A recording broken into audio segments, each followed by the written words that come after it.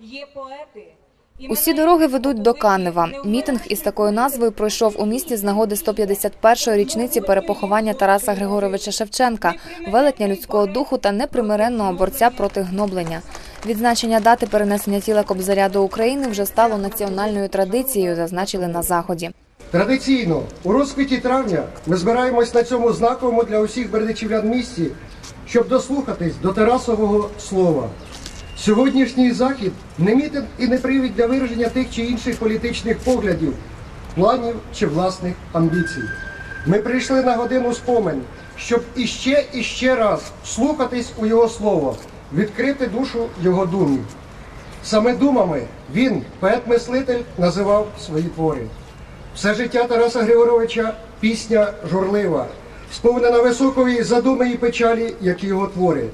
За 47 років свого непростого життя Шевченко зажив собі світової слави, продовжив Іван Демус. Кобзар був першим, хто звернувся до рідного українського і возвеличив його.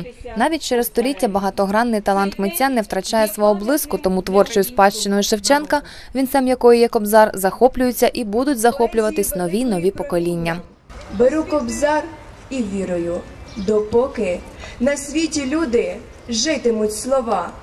Реве та стогне Дніпр широкий, сердитий вітер завива. Беру кобзар, безцінний скарб духовний, і, будучи вкраїнкою, завжди горжуся, що на українській мові кобзар я маю щастя осягти. У спадок сучасним українцям поет залишив мову, вивчення та примноження якої є святим обов'язком Тарасових нащадків. Традиційно на мітингах до річниць перепоховання Шевченка нагороджують бердичівських школярів, переможців міських етапів мовно-літературних конкурсів.